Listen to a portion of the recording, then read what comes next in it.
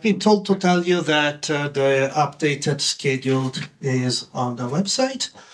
So um, this is my uh, my talk, uh, MariaDB stored procedures and why they should be improved or actually why I think that they should be improved. I'm opinionated, uh, just like every sentient being. So uh, what I will say is my opinions. You are totally free to disagree and tell me. Anyway, um, so short agenda. Uh, I will tell you why stored procedures are important, at least to me. Um, I will give you some nice examples of uh, existing libraries, and uh, I will give you a list of the improvements that I think we need to uh, write more helpful uh, procedures. So, uh, why are they useful?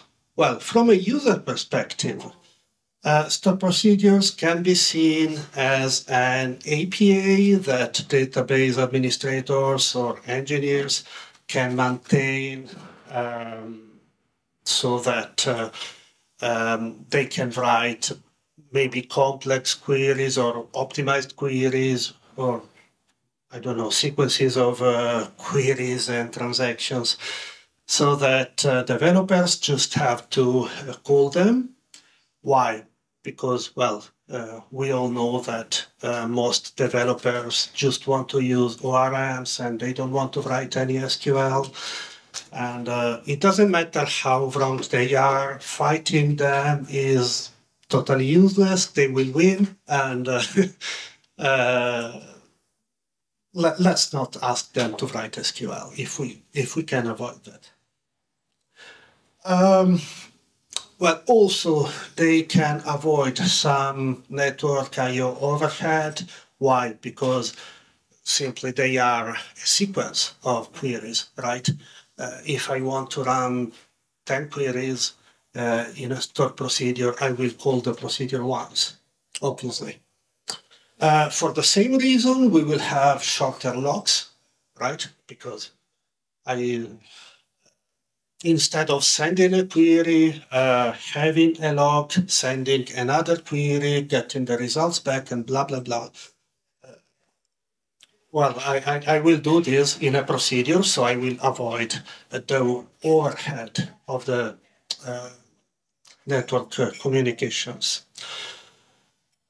And also you can write them once and call them everywhere, which was uh, old Java uh, slogan. What do I mean? Well, maybe you have uh, several applications connecting to the same databases. Maybe they even use several languages, not the same language. Maybe some applications are not even maintained. If you can use stored procedures, it's much, it's much easier to um, change uh, the logic uh, used by several applications. Uh, and then I want to give you a community but also vendor perspective, I think.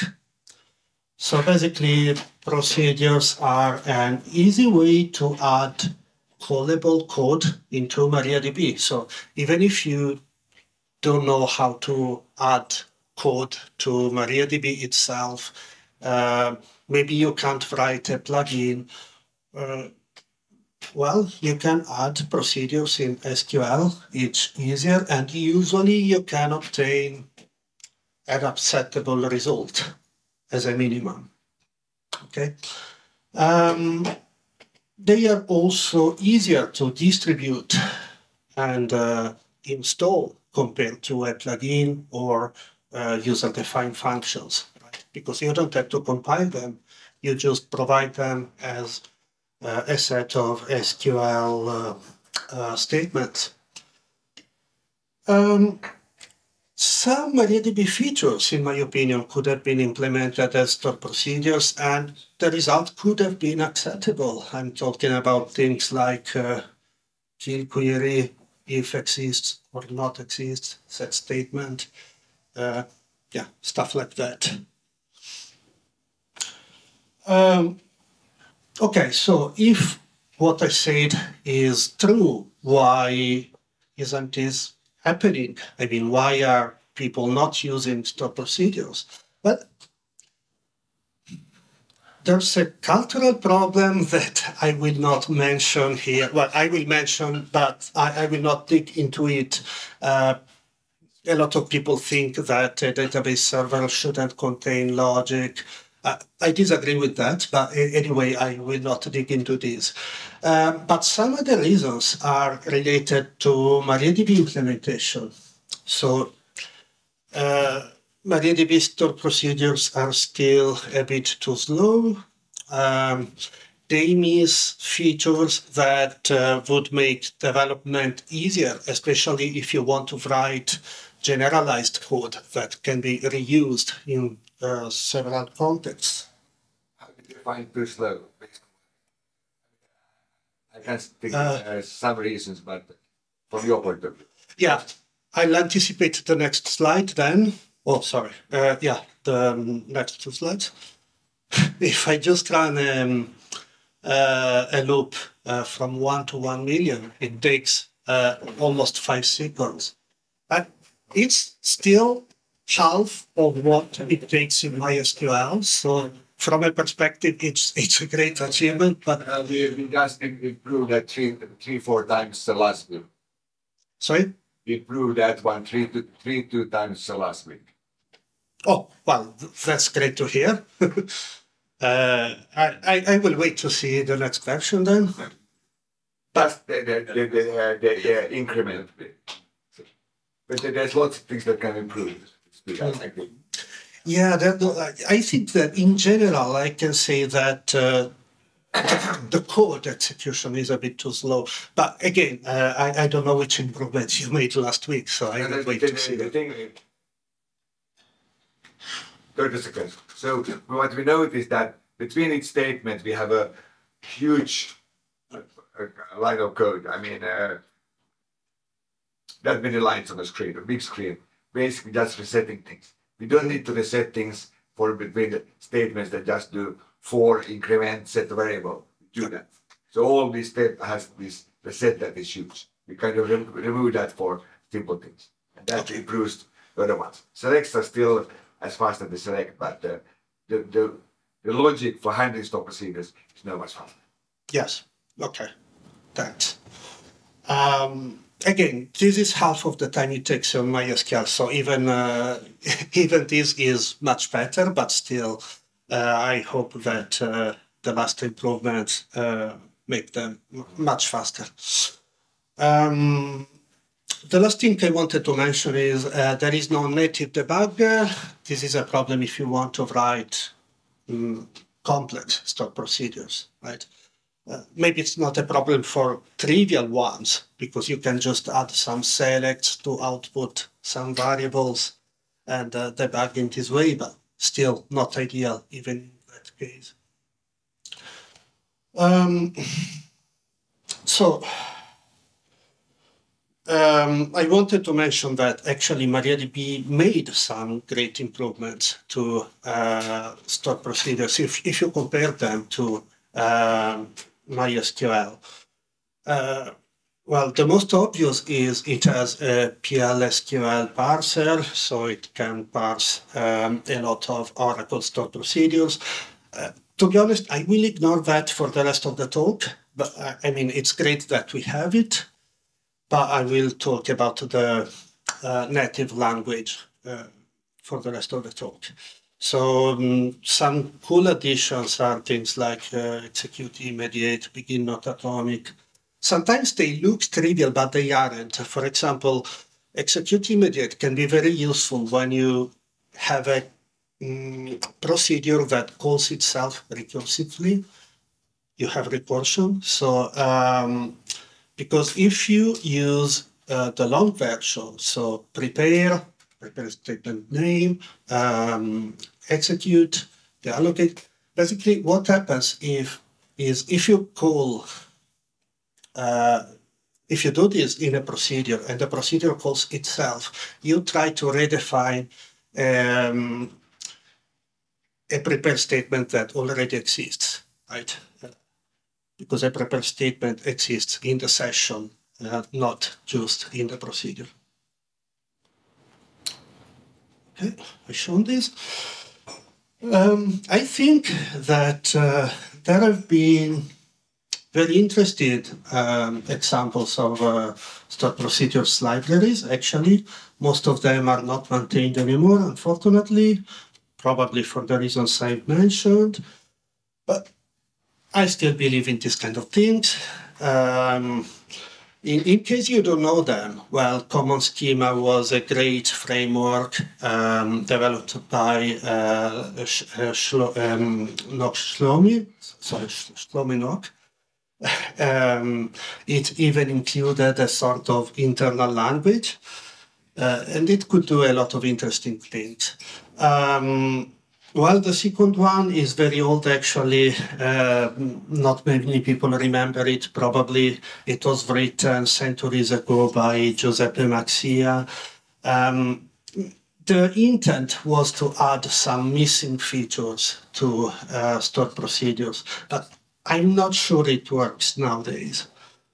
Um, the third one, unfortunately, um, was maintained for a short time, I think, uh, but it was very useful, uh, especially in the past, because uh, when MariaDB and MySQL didn't support roles, uh, you could have uh, you could simulate roles with uh.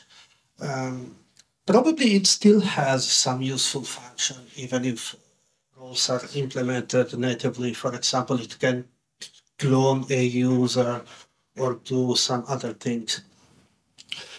Um, Flexviews was written by um, Justin Swanhart, and basically, well, it's not just a stored procedure um, library, it also includes some other components, uh, for example, to read the binary log, but it is a great example of library that simulates um, um, a feature because basically it implements um, materialized views.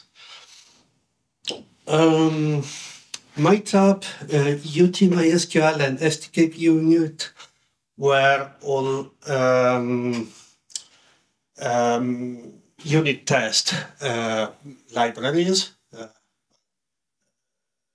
before someone accuses me, I have to admit that the last one was made by me, but don't use it because the code was horrible.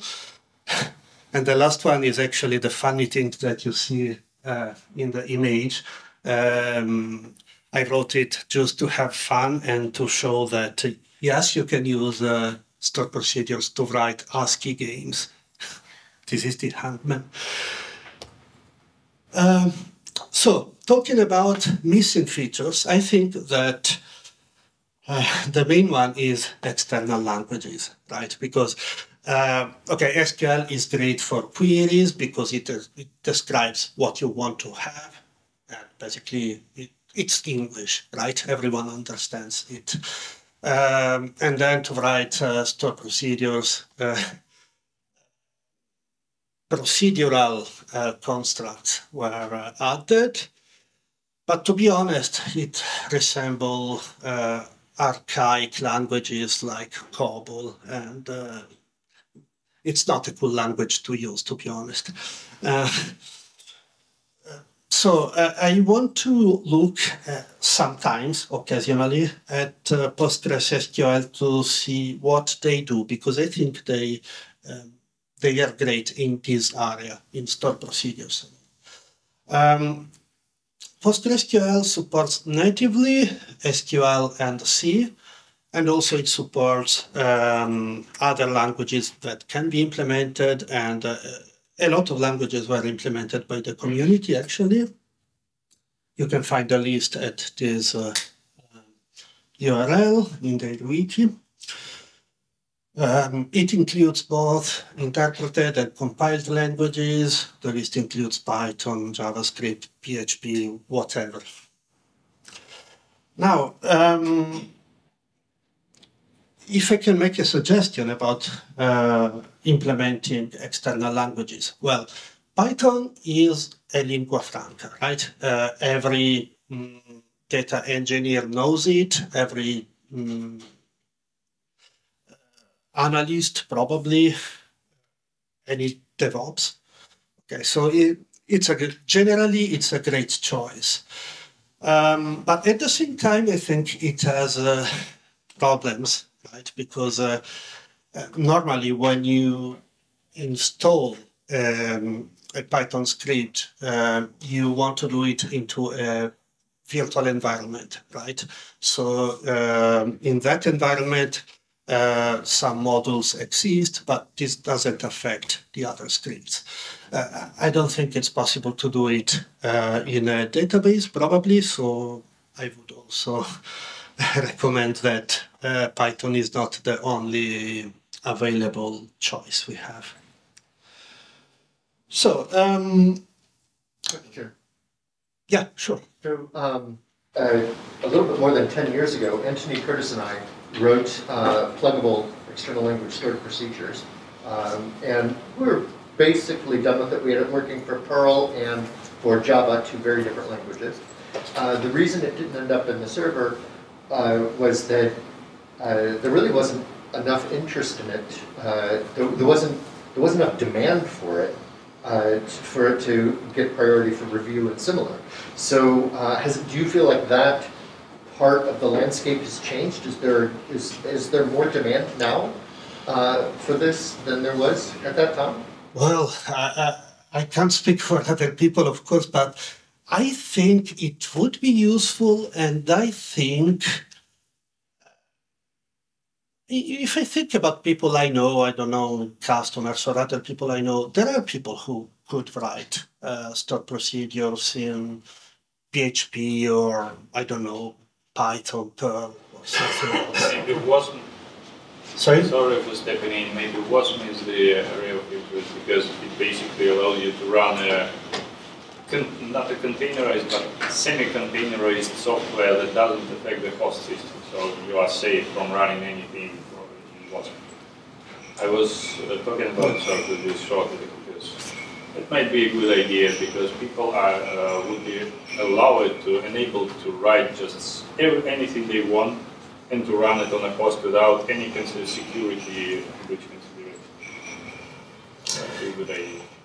Yeah, and um, now that I think uh, more about it, probably one difference is nowadays there are many more, you know, data engineers and many of them could find it useful, maybe, for example, to interact with external APIs. Uh, that is a use case that didn't exist 10 years ago, probably. Okay, so continuing with uh, my list of uh, missing features, uh, let's go to procedures input and output.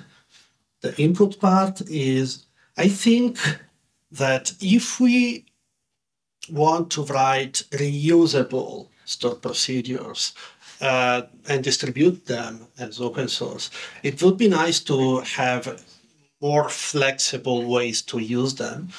So we probably need optional arguments, variadic arguments, so a variable list of uh, uh, arguments, um, overloading, uh, okay, that is optional, but PostgreSQL has it, and I think um, it it's very interesting. Um, anyway, uh, a bit more about it later.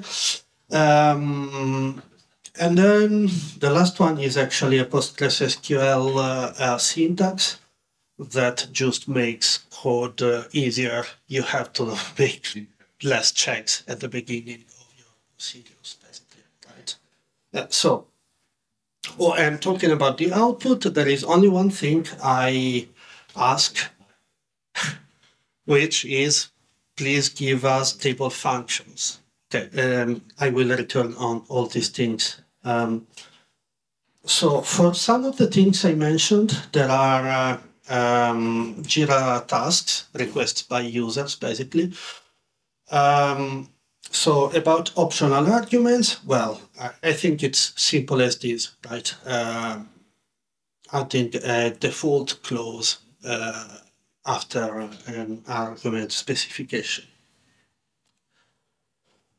Um, arguments, well, here I used, uh, if it's correct, I use the C syntax, but it, it, doesn't matter. I mean, it's it's not a matter of syntax. We can use any other syntax.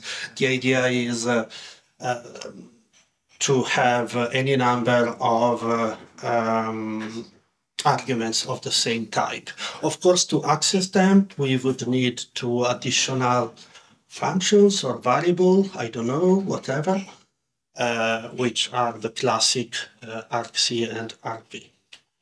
Okay. Um, talking about overloading, as I mentioned, Postgres has it. And uh, basically in Postgres, procedures in the same database and in the same schema can have the same name as long as they accept or return different types. Okay. Um, so yeah, I made a very simple example here. For example, we could have a get month days uh, function which can accept an integer or a varchar. Actually, in, in the example, I also included a default value. Okay. Again, I, I think it's useful if you want to write things that can be used by several people, and you don't even know those people. Everyone has different habits. It, it can be helpful. Um, the last thing yeah, about uh, input-output is uh, um, table functions because I, I, think they are kind of implemented in MariaDB, but not for stored functions, just for uh, built-in functions, because now we have this uh, JSON table function, right, which returns a result set. So my hope is that this means that infrastructure has been added to provide this feature. Uh, if we could return a result set from a stored procedure, uh, this would be very flexible from, from my perspective. Um, as I added in the last line, well, ideally, it would be great if table becomes even a first class types, meaning that you can use it for uh, variables or whatever. I'm not asking weird things like add, adding a table inside another table. I'm not asking something like that, just for variables and parameters and return values.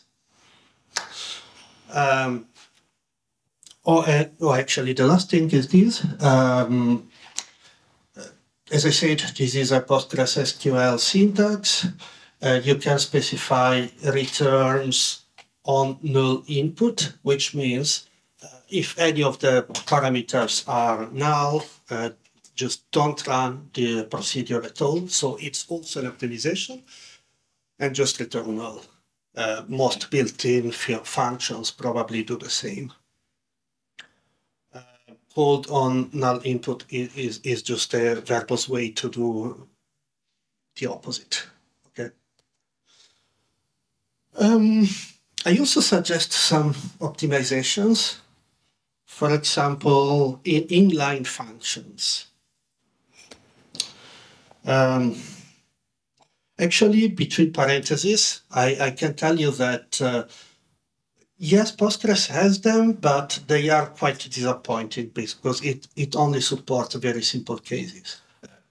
This could be a, a, a, an area that where maybe you could easily um, do better. um, basically, the idea is when a function is simple, uh, you could, and it is called inside a query, uh, the original query could be modified uh, to, to include the function. Okay, in this example, we have a very simple expression, right? Uh, and a select that uses this uh, figure. This. It would probably use an index, and I think it would be?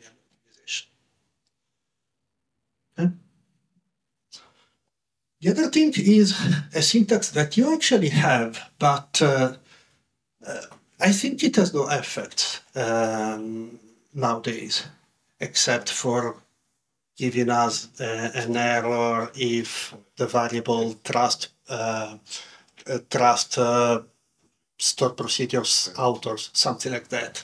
if it is not set to one, we will get warnings or errors. But um, basically, um, I think it should be used as an optimization because if a, if, if a function is uh, deterministic and it doesn't uh, write uh, data to tables, the results can be cached. Okay, so uh, if, if I call it twice with the same parameters, probably it shouldn't run again. Um, PostgreSQL uh, also has um, a, kind of um, semi-deterministic mode, which is stable, which means the function is deterministic inside the same query. Okay, so if it's called several times in the same in the same query with the same parameters, it will return the same value. If it's called by two different queries, uh, it, might return different values, even if the parameters are the same. Um, well, basically, in built-in uh, functions, something like that exists, I think, because you can have now which uh, returns always the same result in the same query, but C sysdate can return different results even in the same query. Yes? Inside the server, the results are not cached, but it affects how query cache treats the function to deterministically. Okay. Okay, that that's. So if it's deterministic, then optimizer knows that for same uh, values, it will always return the same result. then it also can be query cached. It's non-deterministic. Um, but if I understand correctly, it works in the same query, right? Yes, it's all for the same. Okay. So optimize the optimize the query. Okay. The function is deterministic. Then. Well, I think it would be interesting if if there was a sort of global cache. Uh, because uh, suppose that many different connections call the same yeah. function, and often they use the same parameters. And if they do not use same parameters, it will be just slow go. Well, this is uh, yes. Yes, well, probably. In that case, a workaround for the user could be just not to declare it as determined.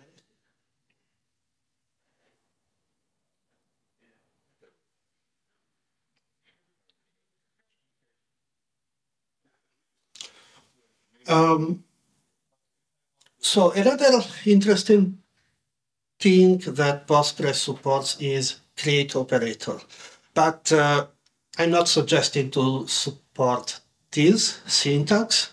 I just want to look into what it is. Okay, because an operator in Postgres is a function that you define um, and uh, some hints that uh, you give to the optimizer. And actually, you could do the same uh, for any function, in my opinion. So, uh, for example, uh, Postgres allows you to uh, give hints about function execution cost.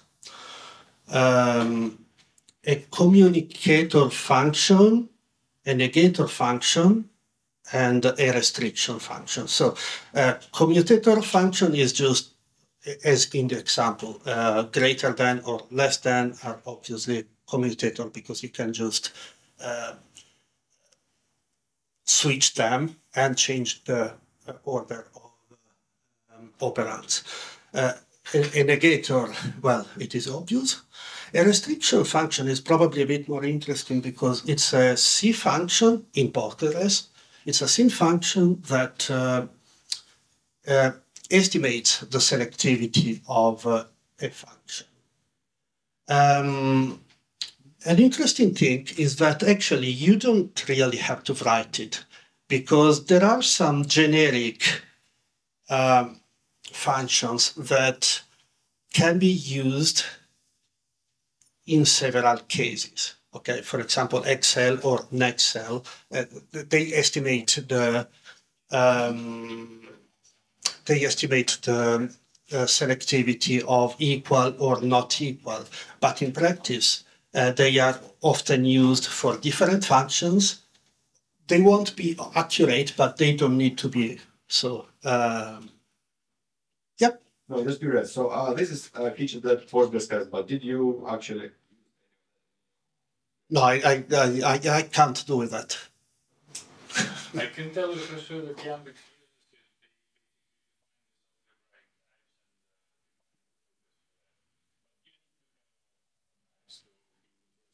No, this is this is for so this is talking about storage function. Storage regime regime can specify uh, storage function can specify another function which is negation. I can see that it's uh, theoretically useful. I'm just wondering if it was.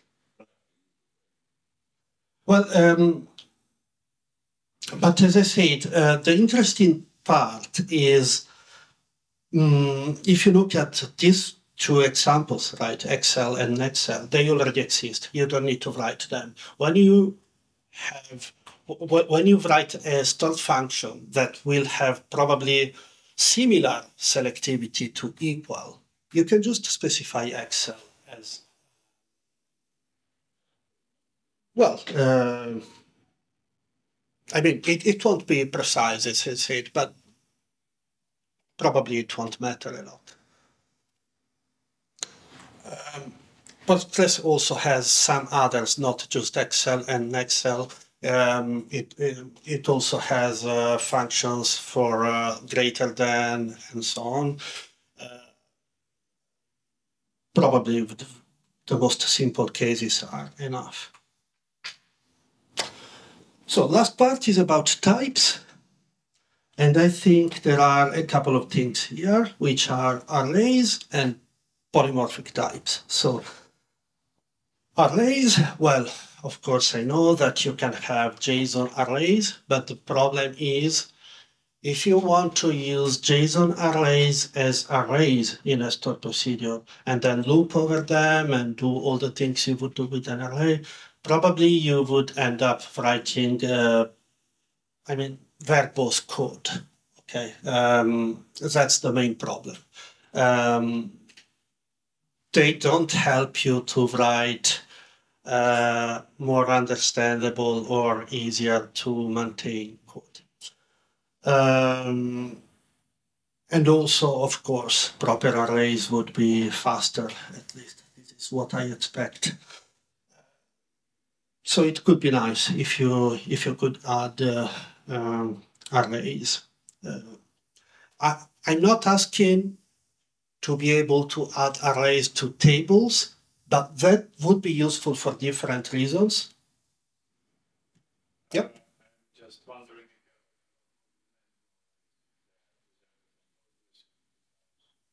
Well, yes, they they support them, but I'm, I'm not asking that honestly. I I never used such a thing in a database.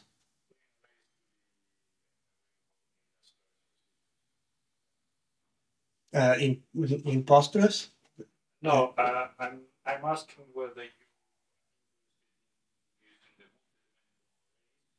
On- Yes, they are. no, no, no, not really. I mean, mm, simple arrays would be enough, honestly. Row variables, I mean, you can uh, basically use those as, as arrays. Sorry. The row, you have a row type. Yes, um, I think it's only in the the PLSQL uh, version, right? It's, uh, also Okay. Okay.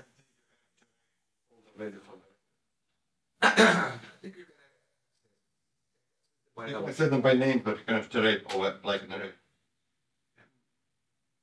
That should be easy to